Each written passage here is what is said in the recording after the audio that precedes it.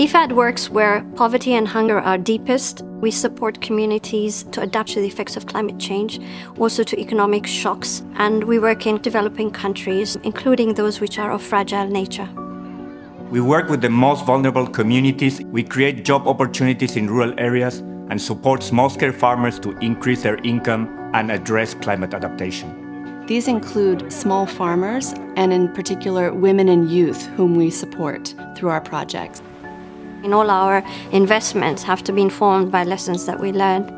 With advanced technologies in artificial intelligence and machine learning, we can access much faster the information that we need so we can be also responding to evolving situations.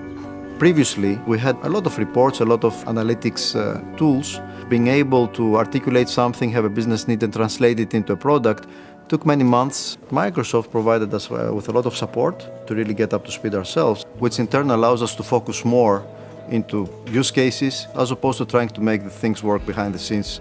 With artificial intelligence, we can have better insights on results and monitor and adopt the analysis for our project portfolio. Omnidata is both a platform and a community, putting together everything we do around data, analytics, visualization, GIS, and now artificial intelligence and we try to apply Azure uh, OpenAI in order to be able to extract knowledge about the lessons learned in our key thematic areas very rapidly. The community is able to work side by side to develop the skills, but also develop prototypes that are very relevant for day-to-day -day work.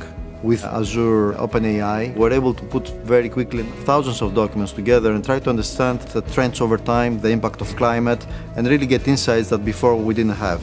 We firmly believe that AI can have a major impact in helping us as a UN institution significantly work more efficiently, work smarter, and work better.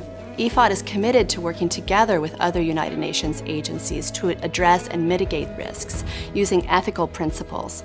We want to make AI accessible to people who might not be able to reach it. We believe that will help us close this digital divide, furthering our impact to those who can really use it and benefit from it the most. People realize that there are new things they can do that they were not considering possible before. This has the power to transform the way we conduct business across the board so that we can really boost the impact that we have supporting small scale farmers globally around the world.